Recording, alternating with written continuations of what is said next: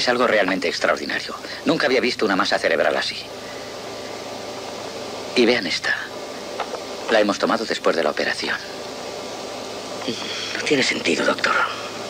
Quiere hacerme creer que su cerebro ha aumentado después de intervenirle. Exacto, así es, aunque la ciencia se niegue a aceptarlo.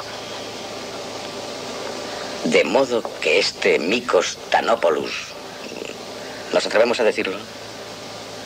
¿Es inmortal? Aunque parezca absurdo, tenemos que rendirnos a la evidencia.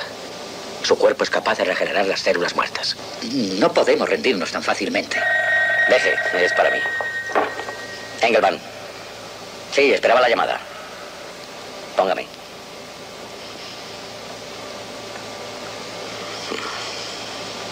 Sí, soy Engelman. Bien, gracias.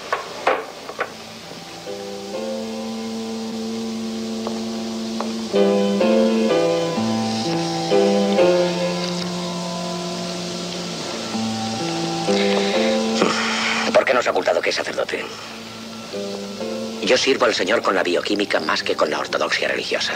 Las ceremonias. Sí, el cónsul me ha dicho que está usted realizando algunos experimentos en ese campo, pero debería haber advertido a las autoridades en lugar de seguir a ese individuo por su cuenta. Y efectivamente así lo hicimos, sargento. Cuando ese hombre huyó de mi laboratorio, después de un test electronuclear, nosotros advertimos a las autoridades. Y ellos... Vea esto. Organizaron su caza en toda regla. Según esto, está muerto oficialmente. Bueno, la fotografía puede servirnos. ¿Qué dice este artículo? El periodista afirma que Mikos Tanopoulos murió acribillado a balazos por la policía griega y que desgraciadamente su cuerpo desapareció en el mar. Y sin embargo no está muerto. Anda por aquí y va matando a todo el que encuentra. Seguro usted, ¿qué es lo que le empuja a matar? Yo me atrevería a decir que sus células no se regeneran perfectamente, se regeneran enfermas. O sea, es un loco. Hay que acabar con él, no puede andar libre. Pero hay un inconveniente.